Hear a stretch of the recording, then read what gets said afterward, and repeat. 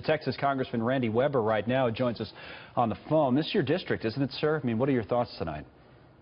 it, it is, Connell, and I can tell you, having grown up on the Gulf Coast, having first three first three coastal counties from Louisiana coming down the border there, my heart is absolutely wrenched over this. This is a heart wrenching situation.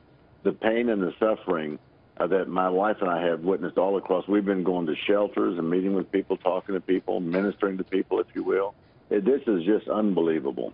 Hillary was just reporting to us that in her drive, either last night or I believe early this morning from the Houston suburbs to try to get as close as she could get to Port Arthur, she wasn't even able to do it. She was um, able to get just to the outskirts. What about the people who are, who are in there? We couldn't have gotten them out. Uh, was there any movement to maybe try to get them out yesterday? or? Well, you know, you couldn't hardly pre-position asset, uh, Connell, because you didn't know where all of the rain was going to fall, what watershed it was going to be in. Uh, I've been in contact with the county judges, actually of all three counties, county commissioners, talked to the mayors, um, and so we knew that uh, the place was getting landlocked. Now, you, she mentioned Air Force, Navy, and some other people. Their Marines are on the way with amphibious uh, vehicles, about 54 Marines. Uh, we're working fast and furiously to get everybody out. Of course, you're seeing an outpouring of neighbor helping neighbor. In Texas, you got 11. Texas.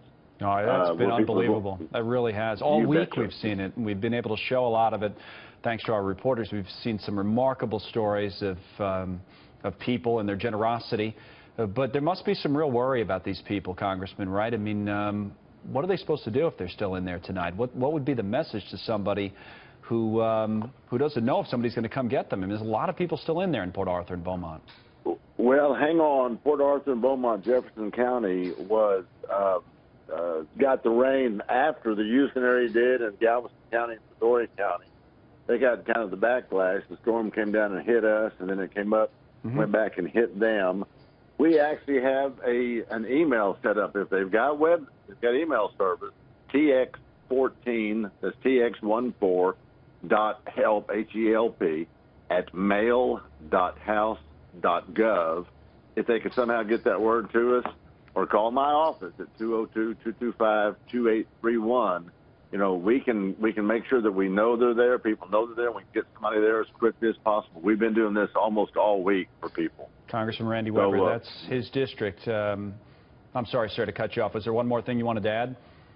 Well, you know, search and rescue is our priority. We want to get people out, get right. their pets. We want to get them dry. We want to get them to a place where they have food and shelter and medic- medicine, medication if they need it or medical attention. And so we're working as fast as we can, and we're in this together. And so, you know, help is on the way. I would just encourage them to hang on because help is on the way.